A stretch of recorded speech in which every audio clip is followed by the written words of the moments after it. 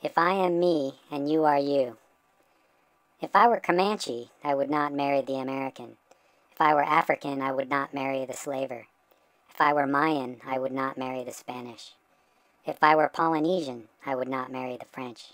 If I were Armenian, I would not marry the Turkish. If I were Iranian, I would not marry the Iraqi.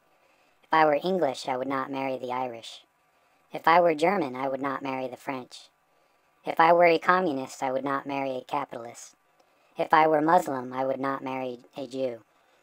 If I were Catholic, I would not marry a Buddhist. If I were Sunni, I would not marry a Shiite.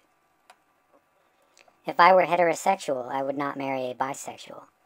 If I were smart, I would not marry the dumb.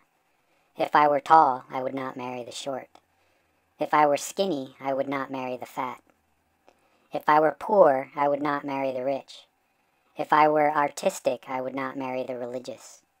If I were comedic, I would not marry the serious. If I were capricious, I would not marry the structured. If I were a warrior, I would not marry a pacifist. Now that we have that clear, let's prepare for battle.